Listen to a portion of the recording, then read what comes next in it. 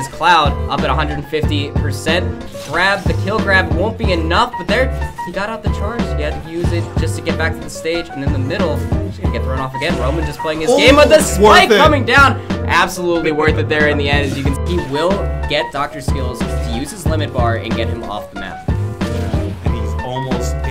Do that. If he just gets his feet planted, I feel like uh, Roman might be able to make it back. But oh, he managed to make the recovery. The Magna Hand's coming through, but the um, Blade Beam with the limit on top of it. Get your barometers ready at home, folks, because Yeah. we have clouds out today. And as we're setting up for our next match here, it's uh, not too sure who who it's going to be. You can see there in the top right part of your screen that there are a lot of people here at the Game Gym in Potomac, Maryland. Just a quick shout out for the Game Gym as well. If you are interested in finding a place where you can up your game, do come out here. We offer a multitude of classes with a collegiate amount of coaches in between League of Legends, Smash Brothers, and Overwatch so far. It's growing, it's going to be great, and it seems that we're going to be setting up our next match here. With this Lucas player in particular, it's all about not willing to give Duck Hunt the moments of time to consider his livelihood, always freezing him, throwing out his PK fires, always trying to stay on top of this fight. Only 64%, and then the smash? He's actually been playing since the game first came out. It was his first competitive Smash game. And uh, he, even though he plays Mario now, excuse me, his original name or main was Ness. And then I think he ended up like switching off kind of earlier last year or so. So a bit newer, but the Ness definitely still has it, as we see right there. Just that back throw, throwing corn off the side. It's just so powerful. That psychic throw has always been strong. Speaking of Smash 64, we have a legend himself in Ness. Has always been a strong character to face against. At least in my opinion, that might just be uh, might just be my matchmaking or just how I play in general. Uh, but Ness himself, he has a lot of zoning abilities and a lot of final hit capabilities. Yeah, his ability to kill is very strong. That's why people thought he was one of the strongest characters in the earlier builds of this game. No lie. Yeah, he can kill you with like up air, back air, um, any smash attack of his. There it is. Yeah, yeah. And he's kind of an old school like veteran now, actually. Wow, I've known these guys for like four years. wow, Hey. when you think about it. That's that's the Smash community for you folks. I mean, it's been around for a while. I brought up Smash 64. I remember playing that game way back in my basement when I was a wee young, and now we have these kids learning how to play. It's about to be Smash Ultimate here in a couple months as well. So I mean, they're sitting here and they're learning off of the newer ones, and that's one of the better parts about having these high.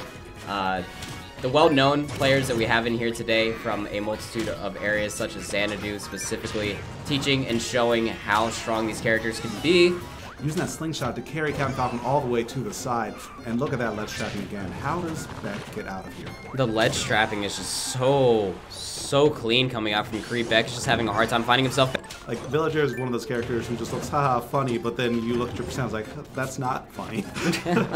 A lot of damage coming out. We were talking about this earlier here at the gym as well before the tournament even started about this tree. And that's where you gotta be careful. there, and he gets a back air for his trouble. Now what's the mix up on the ledge? Mr. M gets straight up in the banana, but doesn't get anything after that. But Logic still with the ledge pressure, the down tilt, the forward air, tries to do something fancy, keeps the fanciness going, but Mr. M able to make it back.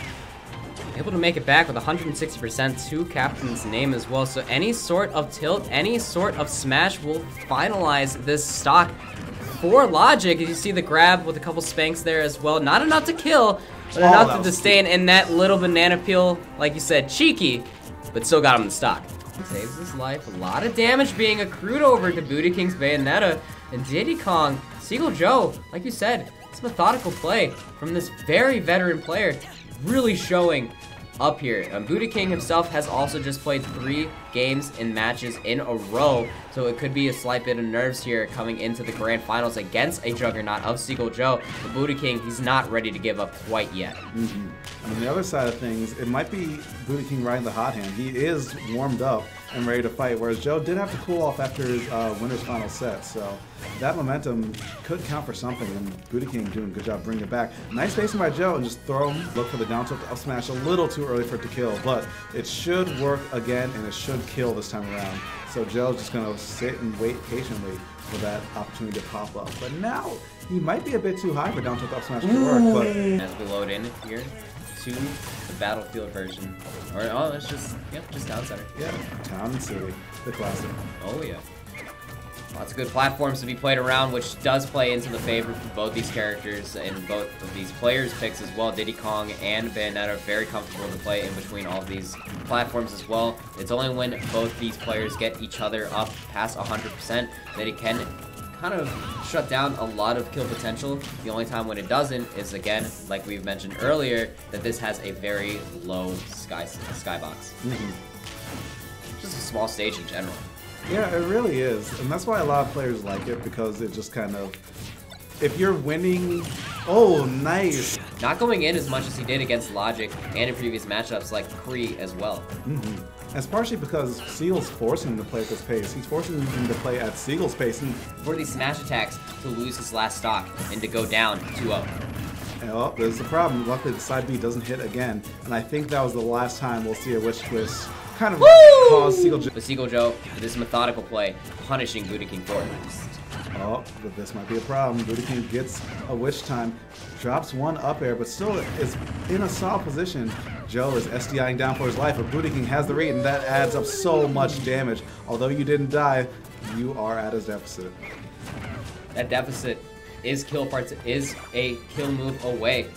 One more juggle like that in the right part of the skybox, and Booty King can take the stock off of Seagull Joe. You can see Seagull Joe now playing more methodical, playing more patiently than he has in the past as well. Another wish spell.